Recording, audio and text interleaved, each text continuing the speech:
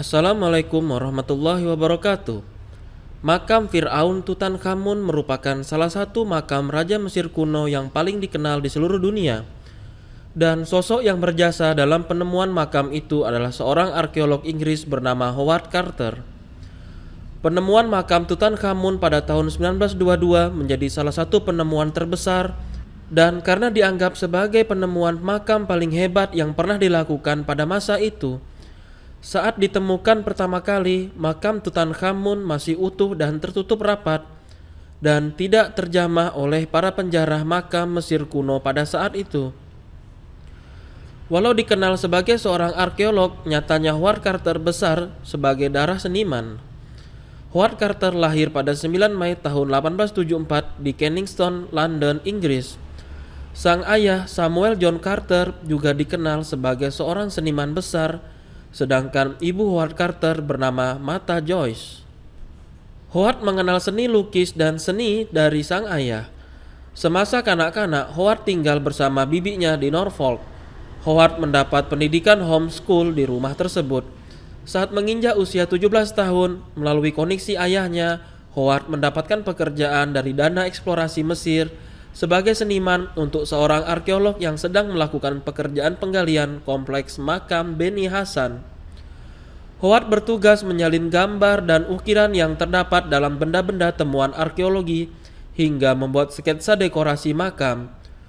Pada tahun 1892, dia bekerja di bawah pengawasan seorang yang bernama Flinders Petrie dan ikut membantu selama satu tahun di Amarna ibu kota yang didirikan oleh Fir'aun Akhenaten. Tahun 1894 hingga 1899 Howard bekerja dengan Edward Neville di Deir El Bahari untuk menyalin relief dinding di kuil Hatshepsut.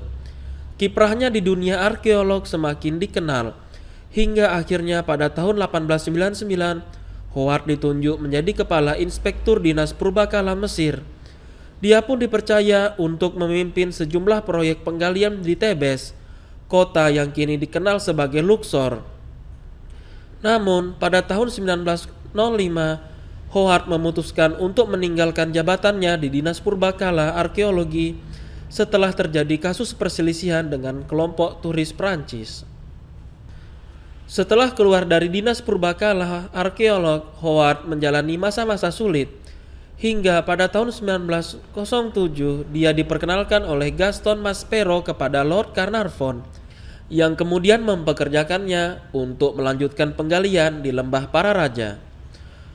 Lord Carnarvon mulai mendanai pekerjaan penggalian yang dipimpin Howard pada tahun 1914. Penggalian sempat terhenti saat Perang Dunia I pecah dan baru berlanjut tiga tahun kemudian.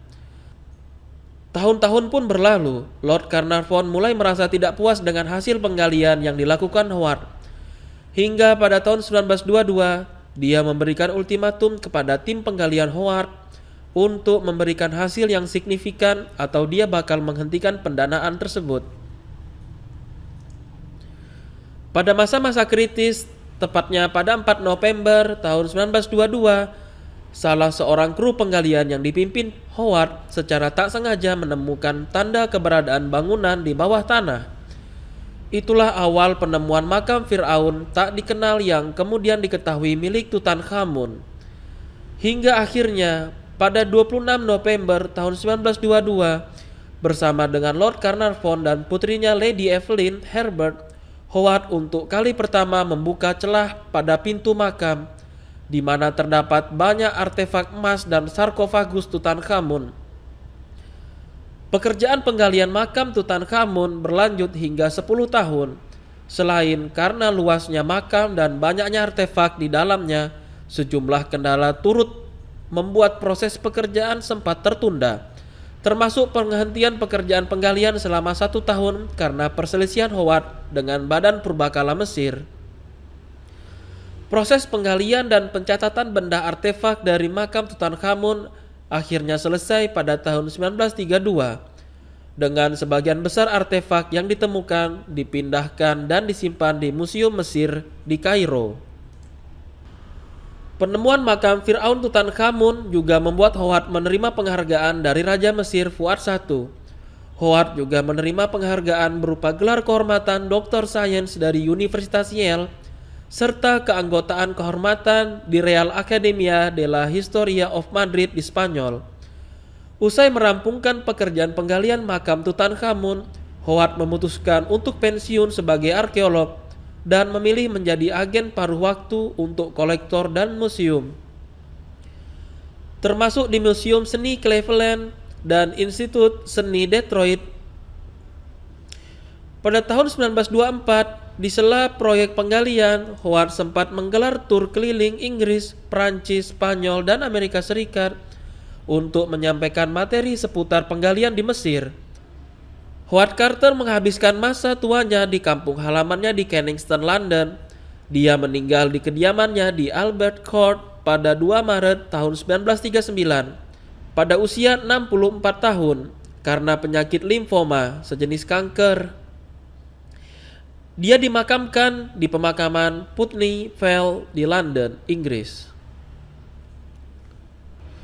Demikian kisah Howard Carter, sang penemu makam Fir'aun Tutankhamun yang sampai sekarang selalu diingat oleh para arkeolog-arkeolog terkenal di dunia. Demikian informasi dari kami dan sampai jumpa di video selanjutnya. Wassalamualaikum warahmatullahi wabarakatuh.